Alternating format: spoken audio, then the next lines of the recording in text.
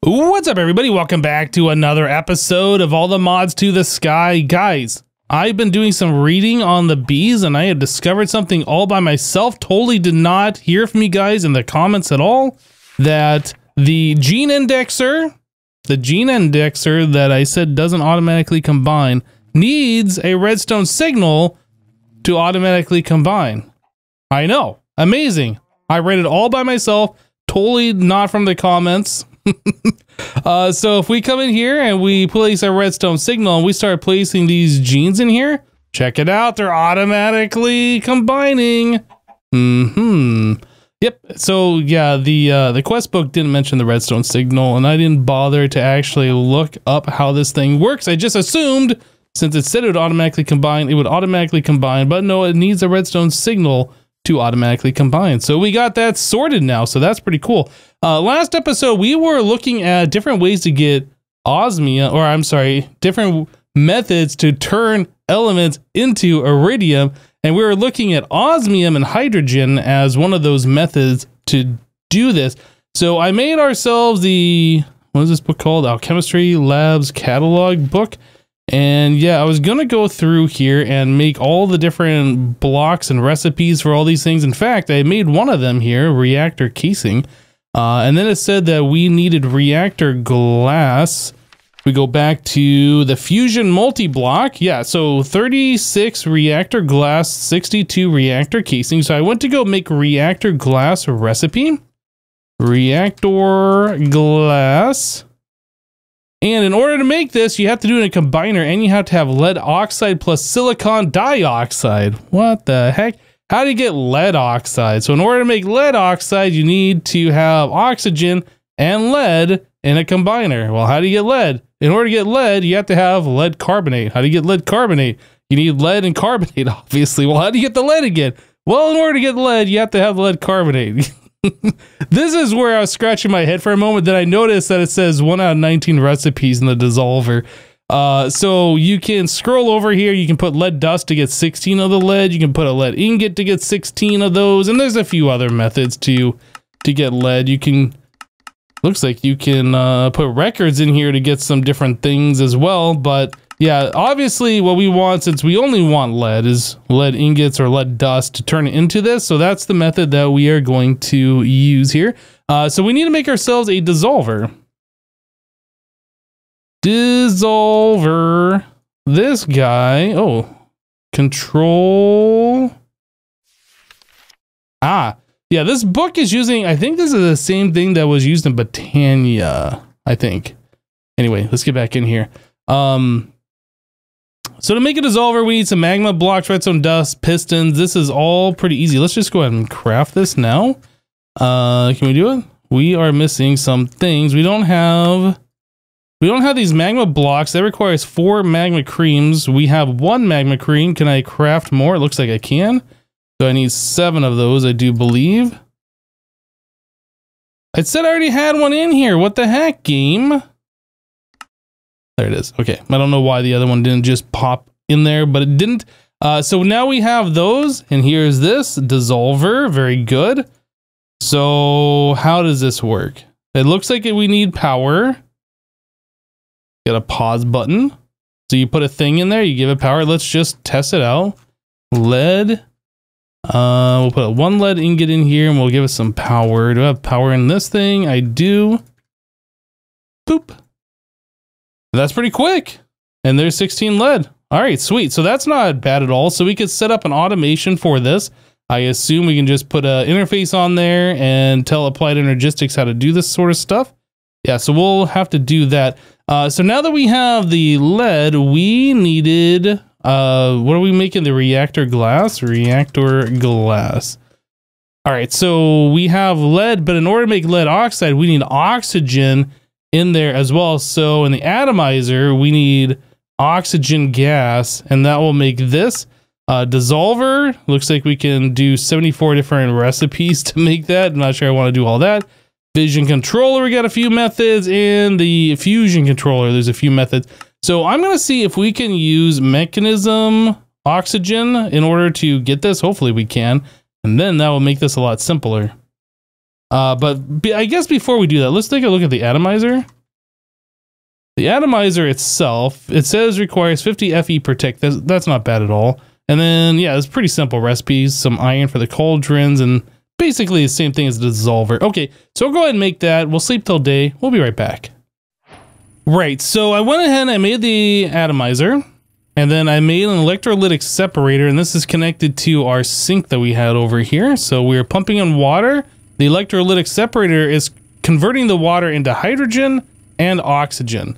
We'll go ahead and dump the excess hydrogen, so this thing will just fill up until the oxygen is full, since we're getting, it looks like twice as much hydrogen than oxygen.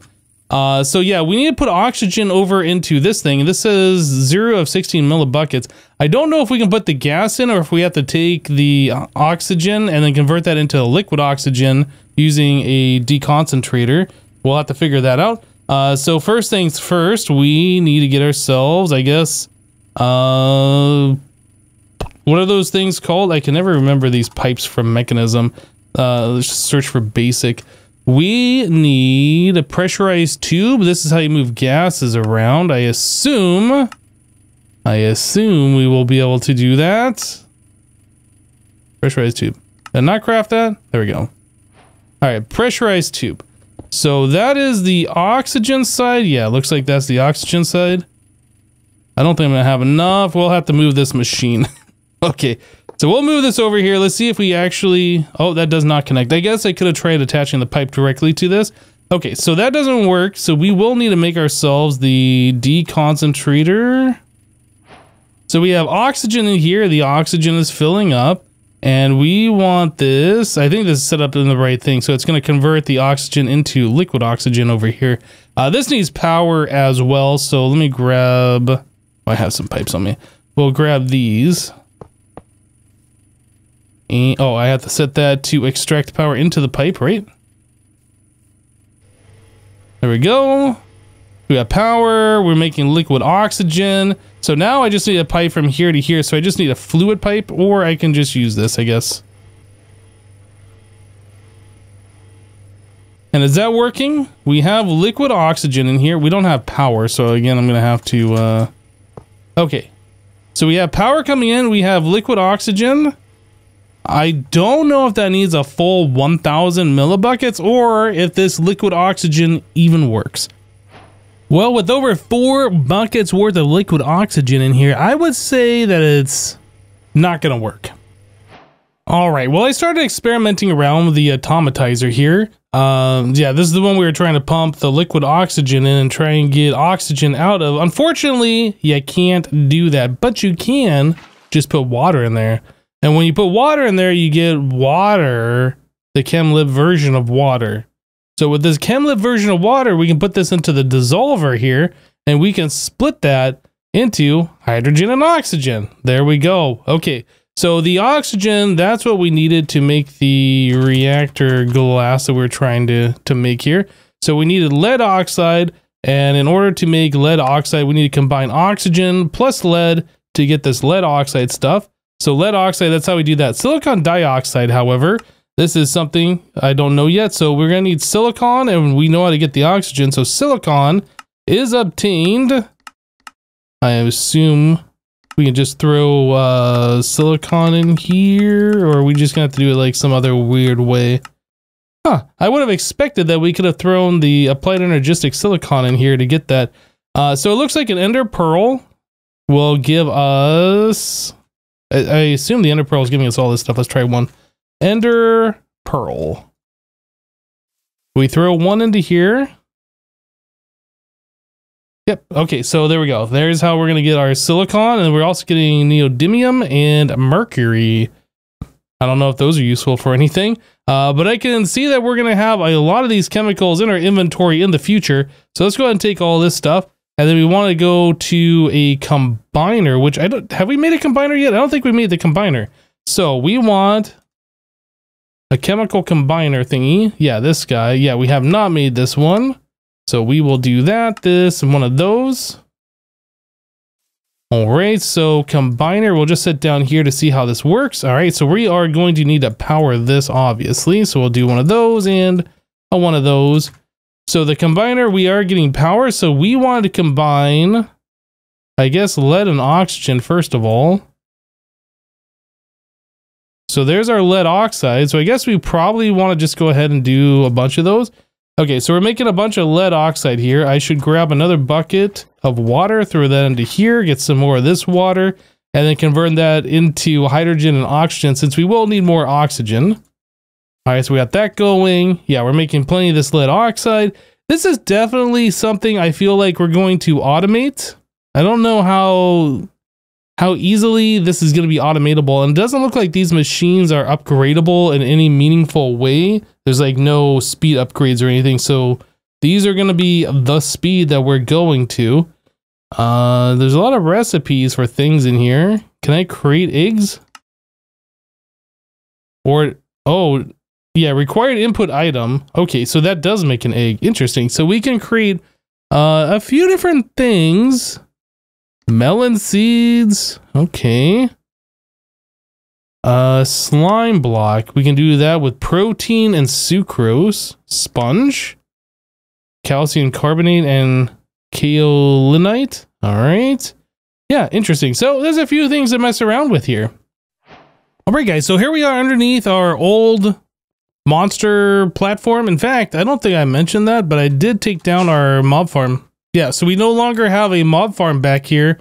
We still have the uh, the drawers where the mob drops were, but yeah, we don't have a mob farm anymore. I noticed that we haven't been using it at all for like I don't know how many episodes, and it's been kind of a an eyesore for a while. So I went ahead and I got rid of it before the episode started. But anyway, we're down below that platform now, and I have set up a thing here. So we have a new sink that's just providing an, an atomizer an atomizer, atomizer with uh, water. The water uh, turning into the ChemLib stuff, and that's being distributed into three different dissolvers over here, right?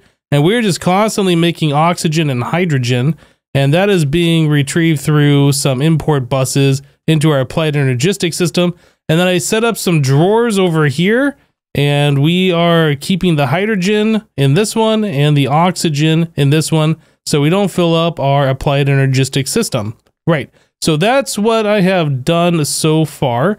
Uh, what I think that we want to do now that we have the oxygen, we want to set up a dissolver so we can take lead ingots and turn it into the the ChemLib lead. And then we also want to be able to make ourselves silicon dioxide. Now I was trying to figure out how we're going to make that for making the reactor glass. Again, we come into here, we see it's a lead oxide. We know how to make that now. Silicon dioxide required silicon, so I went down the rabbit hole of looking at how we're going to be able to make that silicon to combine it. We saw the ender pearl thing before.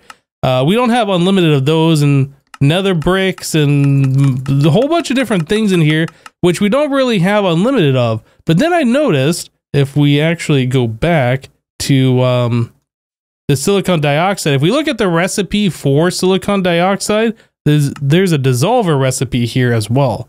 And I was like, okay, so this seems more more like something that we could do, stone bricks into this stuff. Uh, but this is a relative recipe, and that means relative uh, will not always get 16% of the silicon dioxide. Like everything always adds up to 100. I, I don't know. I was reading that in the book, and like like the relative recipes aren't really what you want. You want something that's more absolute because that means that you're guaranteed that 50% of the time you get that, 50% of the time you get two of them, right? So yeah, that's what we want. So concrete kind of seemed interesting where you can get four water and two silicon dioxide out of it. But then I kept scrolling here and I saw that glass. If you put glass into the dissolver, you get four silicon dioxide. That's what we want. So that is what we are going to do. So in order to do such things, I started preparing. I think we're going to set up a interface. The interface is going to go into a chest. That chest is going to extract into some dissolvers down here. I have eight of these in total. We are probably going to move this. I was just putting this down as an example. But anyway, this interface will dump all the recipes in this chest. We'll use pipes to connect these guys here to distribute we will use a uh, round robin approach. And hopefully we'll be able to do this eight times faster than just one of these at a time. I don't know if there's a way we can limit the amount that each of these gets. So we're not putting like, if we're doing a stack and half, this one gets a full stack and this one gets half a stack and the rest of these are unused. I don't know if there's a way that we can do that in this method. I will try and figure that out, but yeah, that's what I want to go with here. And we have it all set up now. And uh, yeah, I made the mistake of using an interface because it's always been an interface in Applied Energistics 2 up until this mod pack. It's a pattern provider we need. So the pattern provider is set for one glass equals four silicon dioxide, right? That's the pattern that we're using. That gets dumped into here. And yeah, it gets distributed into all of these like we were talking about. And the round robin, it does seem like it does not dump the end, like a one full stack into this one and then partial stack into this one and everything else is empty. It seems like it distributes this uh, very evenly. So let's take a look at this. If I do silicon dioxide, you see I've already done a little bit here, but let's say we want to craft up like 300 of those. So that's 128 sand to 128 glass. So we are crafting that all up. If we look in here, we get a few in this one, a few in that one. So yeah, all of these are being used and it's all being distributed pretty evenly. So yeah, uh, this method that I decided to go with is is actually uh, pretty pretty good here. So yeah, we can see that we are collecting quite a lot at a time as they come back after they're being processed. So uh, I'm very happy with the way this is set up. So now that we have all this silicon dioxide, a little bit in excess now, um, I did set up a drawer over here to store those as well. And we are continuing to collect our oxygen and hydrogen over here. Now that we have the ability to craft that automatically, we need to set up a way to take the uh, silicon dioxide and we need to craft lead oxide. I guess that's another thing that we need to do. So that needs to be in a combiner. So oxygen and lead is going to make one of those. In fact, let's actually go upstairs real quick and make that recipe since we have not made that yet. So we want lead oxide. We want this to be a thing. Okay. And then we also want this to be a thing. Right. So back down here, I set up a combiner over here. We have a pattern provider and we are going to put in this one and this one. So I don't know if we have to set this up to to don't push crafting ingredients if there already contains one. Otherwise, if we don't do that, I feel like if we say make reactor glass, uh, it's going to push in the oxygen and lead, and then we're going to have like silicon dioxide and lead oxide all pushed in there all at the same time, and bad things are going to happen. Anyway, so we want blocking mode turned on. Let's see if we can make reactor glass this way. I have not tested this. I assume this is going to work, but maybe it won't. What's going on here? Oh yeah, okay, so looks like we are good. So I see that it does have these things here and you can lock the recipe, but it's not locked right now. I am curious if we tell it to make more than one reactor glass, let's say let's make 10. How does this work? So we already have lead oxide, apparently. I don't know where we got the lead oxide from, but I don't think I crafted that up either. Well, apparently we have a whole lot of that in the system. Let's take a look. Lead oxide. We have five more of those. Hmm. Okay, we'll try that again. So I want reactor glass. Oh, it's still crafting them. Uh, let's say make 20 of those. Okay, so now it says we're out of lead. So that's a problem. We need a way to tell the system how to create lead. And creating lead should be easily solved just by putting a recipe in this one right here with our silicon dioxide from glass with lead from lead ingots, right? So one lead ingot equals 16 lead. So if we try that recipe again, whoop, and I tell it to craft up reactor glass. I think I was trying to make 20 before It's happy with this. So let's start that up and let's see how this all goes. We should have lead over here and one of these being turned into stuff and things over here. So yes, we are still crafting up with the existing lead oxide because I don't believe we have crafted any. Okay, so here we go. Oxygen and lead gets turned in there and then it's making these. Awesome. Okay, so now it's just going back and forth, back and forth. Well, it's making this stuff a little slow. It might be another situation where we want to have multiple of these combiners set up, but as you can see, this seems to be working. All right, guys. So we need a total of 36 reactor glass in order to make ourselves the fission chamber. Well, I guess the fission multi-block. That's what we need. So I told the system to craft up the rest of these. So we have 30. We have 31 here. So we need five more in total, right? And they're queued up and we have everything, but it is not doing anything, right? Crafting one, scheduled for, nothing's happening. So what it seems like is this is only working automated like this if I right click on it. You can see it's starting to craft now. And there we go. So now it's crafting lead oxide, crafting one, scheduled three, but nothing's happening until I click on this thing. And then it starts to craft. And then we come in here, it finishes that one, and then it's crafting this one, three remaining. So that's really odd. Uh, I feel like I'm going to have to make this. If we're going to do an automated thing, I'm going to have to make this so each recipe has its own dedicated machine, is what this is feeling like. Because it can switch back and forth just fine, only if I'm in the interface watching it do it.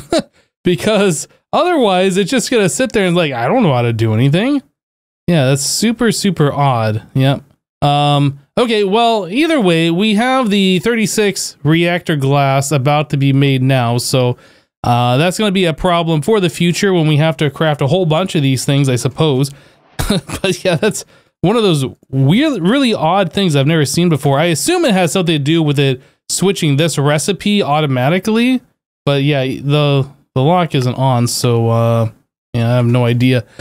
Anyway, so now that we have the ability to uh, make that make that glass, we need this book here. Now that we have the ability to make that glass, I can go ahead and get the rest of this stuff. So we need 62 reactor casing. Oh, you know what? I never put that recipe in the applied energistics system. That's sitting in my inventory. So let's go put it in there and see if we can craft that up. Find a home for that. We'll just put that right there. So reactor casing, it was 62 of those. And we need osmium and platinum. I think we do have osmium, but it's a different type. This is looking for the chemlib stuff. Platinum, however, no, we should have enough, I believe, with the platinum ore and the raw platinum. I just need to smelt it down. Right, so uh, I'm trying to fix that recipe that we needed the osmium and the platinum, and I thought that you know because we were using the wrong ingredients that we just had to switch to the ones that we had. That's not actually the case. So if we took a look, take a look at reactor casing, we go back into here. Yeah, so this is using the ChemLib osmium, the ChemLib platinum. Well, how do you get this osmium? This is not ore dictionary. You can't just substitute it with the Mekanism version. So in order to get that, you need these nuggets or the block. The nuggets you get from the ingot, so that's not helpful. Uh, the block, however, you can stone cut the Mekanism, or I guess the all the ores block, right? And then that'll convert it into this. It doesn't look like there is an easier conversion. Maybe there's like an ore dictionary converter or something that would work that just the same, but stone cutting seems to be the method. And potentially we can do create block cutting to automate this process depending on how much we need. But anyway, that's how we are going to do that. Um, so I saw here platinum and ore. I was trying to figure out the best way to do stuff with this so we could get more platinum out of it. If we look at the uses on that, if we crush it with the ore hammer, we get one. I feel like we're getting more if I mined it just with a pickaxe. Maybe with fortune it's affected by that. But I was going through this list here of all the different things that we could do. And I came across the mechanical squeezer. So this will give you three raw platinum guaranteed and a 50% chance of two more and a 50% chance of two more still. So you can get a total of seven out of this thing. And it uh, crafts every two seconds. Um, so yeah, I was kind of going down the path. How do we get the mechanical squeezer? So in order to do that, we need these energy batteries. And in order to get the energy batteries, we need blocks of crystallized mineral. And then we need the mineral chunk. And I do believe that is obtained through... Uh, well, we can do it through bees, but yeah, anyway, I think you can get it from, yeah, the mineral log and this mineral resin And I think the, there is a way to get it. Yeah, the regular squeezer can get that mineral resin for you. But either way, we have to have the mineral tree. So let's let's divert our plan here for just a moment. Mineral sapling. This is what we need to get the tree, right? So you can do that through mineral essence, which comes from a tier 2 seed. But I think you have to have the mineral stuff to begin with in order to do this. Uh, the other method is we can sift leaves. Yeah, so sifting leaves on the netherite mesh, which we have, it can be any Minecraft colon leaves, gives us a 20% chance at mineral saplings. So that seems like what we want to do. Also, rubber wood. Uh, I think that might be how we got the rubber to begin with. I don't remember now, but either either way, we'll throw these leaves in here. We got a stack of them. And yeah, that should sift. And I think they'll just hang out here. Or actually, do we have an overflow chest? I can't remember how this is all set up. I don't see an overflow chest. So maybe they just hang out in this, or did I just delete them? uh, you know what? Nope, nope. I remember now. All that stuff goes into applied energistics. So if we have mineral, hmm, does not look like we have mineral in here. Do we have rubber sapling? We have 75 of those. Uh, leaves. I guess I'll try this again. Maybe we get really unlucky. We'll just try again. Maybe we'll get mineral this time. It did say it's a 20% chance, so yeah, it's possible that we got unlucky. And still nothing. Okay. So what I'm going to do is I'm going to try this again. Although these are azalea leaves, I don't know. Okay, spreading them out doesn't do anything for us. I was kind of hoping that might give us a different result here. Aha! Now we got mineral. All right. Very good. Very good. So yes, we can grow this. There it is. Yep. And then we just need to chop it down and try and get more saplings out of this. What is this thing? Enriched mineral log. Okay. Vein mine. All these things don't want a vein mine for some reason. Oh, there's even more log up here. All right, we're getting saplings. Yes, we're getting plenty of saplings. We're getting crystallized mineral chuck and mineral berries. Awesome. I'm just going to keep at this and try and get a whole bunch of these.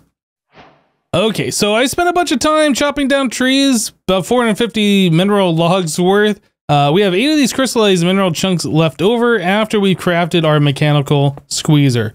Let's see how this thing performs. So if I put in platinum ore here, squeeze, look at that, we got three. Now we got seven more, only three that time. Yeah, so this seems like this is a pretty good way to collect a lot of uh, a lot of our raw platinum here. So the next thing that I'm going to do is take this raw platinum and throw it through our smeltery, which seems a little weird that we're still using the smeltery at this point, but it is an easy way for us to double ore. And the blocks just get automatically formed and put into our system. So Yep, that's what I've been doing, just throwing the raw platinum into our smeltery, or I guess any of our stuff that we smelt, into our smeltery, and that just gets automatically converted into blocks that we can convert into ingots. So taking all that platinum and running it through our mechanical squeezer here, we ended up with five stacks of the platinum ore plus 10. So yeah, that was 73 blocks plus three ingots, I believe is what that all came out to.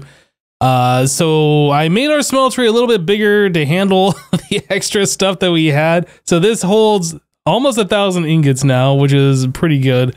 Um, but yeah, we got that all smelted down and we should be good to go on the whole platinum situation going forward. But I was just taking a look and yeah, the video is getting a little long. We don't have the both types of metals converted into the right thing. So we'll have to take a look at that fission reactor next time. Anyway, that's going to do it for this episode of All the Mods 7 to the Sky.